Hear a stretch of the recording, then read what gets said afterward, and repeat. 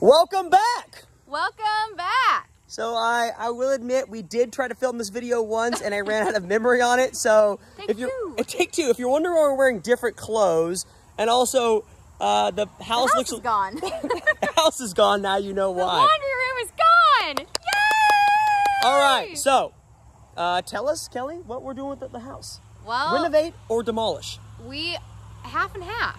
A nice little mixture. Okay. We tore off the whole laundry room that stuck out that was very, very creepy, if you remember what that looked like.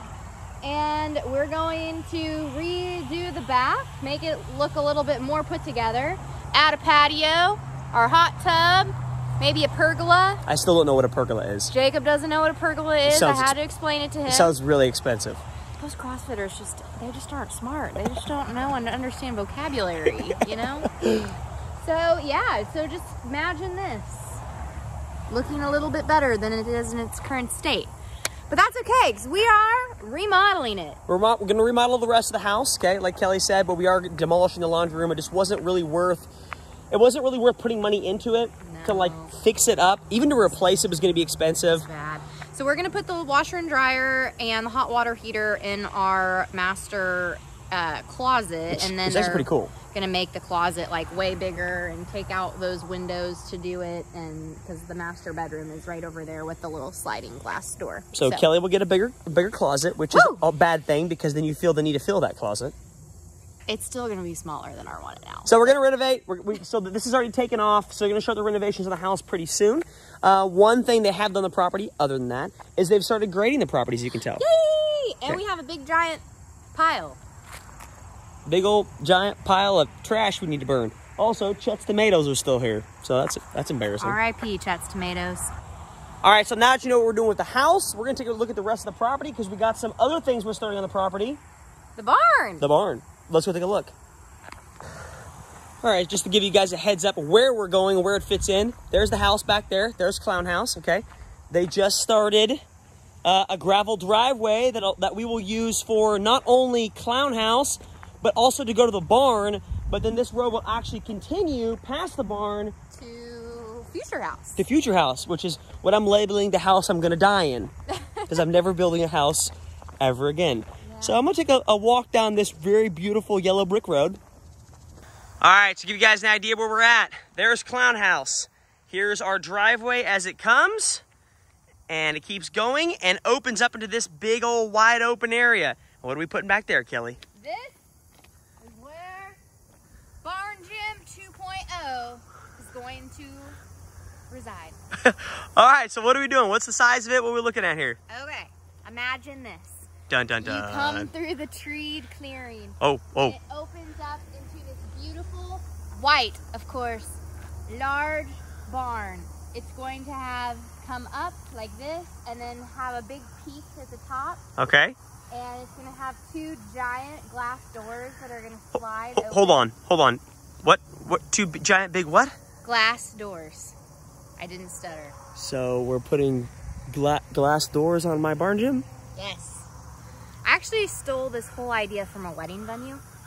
which is, I mean, which is kind of like I'm not gonna lie, which is kind of like our idea is why spend a lot of money making just a barn gym if we could also use it as a barn gym and possibly just a venue in general to use. Potentially. Yeah, Maybe. potentially. We'll see.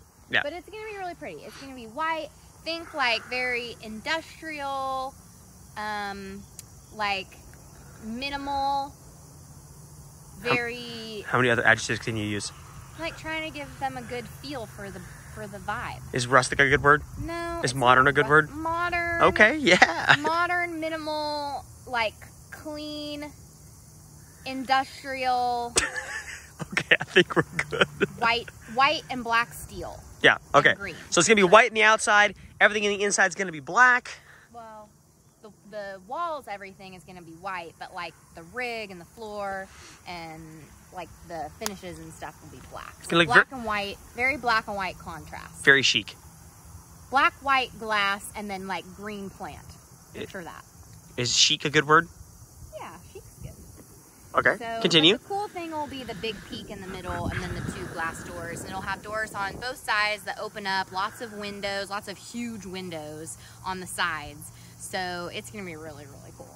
And then the driveway will basically just continue through that clearing, and then that's where our house will go someday. So our driveway will continue on down there to that hole in the trees. I want to make a covered bridge someday. Kelli wants to put a covered bridge someday. I don't think I can afford that left unless I sell all my kidneys. Someday. So they graded it.